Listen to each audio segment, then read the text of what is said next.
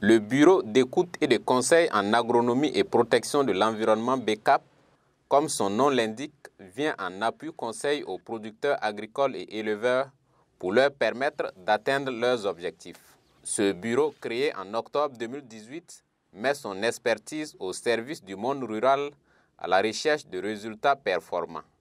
Recevoir les producteurs, écouter leurs projets et les orienter le mieux possible sont entre autres les tâches de ce bureau qui ratisse large en s'invitant dans la commercialisation d'intrants et bien d'autres. On s'est rendu compte qu'en conseillant les gens, euh, ils voudraient aussi qu'on soit à côté d'eux pour les accompagner en termes de euh, pratiques, euh, suivi et en termes d'intrants de qualité. Ce qui nous a amené à remodeler un peu nos objectifs et ajouter d'autres services. donc aujourd'hui, nous sommes dans, effectivement dans la formation, voilà, dans l'élaboration des projets, dans la vente des intrants agricoles. Hein. Bon, et nous sommes toujours dans l'accompagnement, l'écoute, conseil. Le bureau met ainsi à la disposition des producteurs plusieurs types d'intrants et de matériel agricole. Il suit également de façon permanente ses producteurs sur le terrain. Par exemple, euh, tu peux recevoir quelqu'un, il t'explique son problème, il est déjà dans l'activité, bon, et il veut que tu te déplaces avec lui pour euh, toucher du doigt les réalités et pouvoir le conseiller.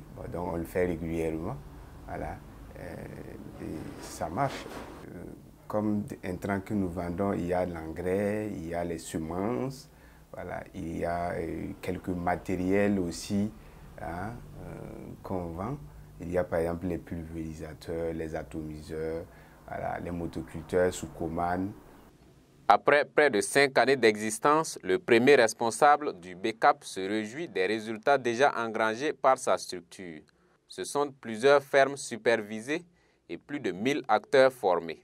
Euh, déjà au bureau ici, on a au moins 150 Hein, clients qui sont passés euh, au bureau ici se former. Le nombre de clients formés en ligne euh, tourne autour de 1300, euh, 1300 comme ça qu'on a formé en ligne parce qu'on fait les formations en ligne. Maintenant, pour les fermes qu'on a, on a pu suivre, et aujourd'hui, on peut aller visiter et puis dire, ah bon, il y a Becap qui a supervisé ici. à Ouaga, on a trois fermes, voilà. Euh, à Bobo, on a une ferme. Quand on prend par exemple le Mali à côté, euh, nous avons des messages revenant du Mali, voilà, euh, parce qu'on accompagne des gens en ligne à travers la production, surtout la production d'oignons, surtout au Mali. C'est pour dire que notre impact n'est pas à négliger hein, dans ce monde rural. Cependant, le souhait de Noé Tougma est que les acteurs des domaines de l'agriculture et de l'élevage soient des passionnés pour aller au-delà des résultats attendus.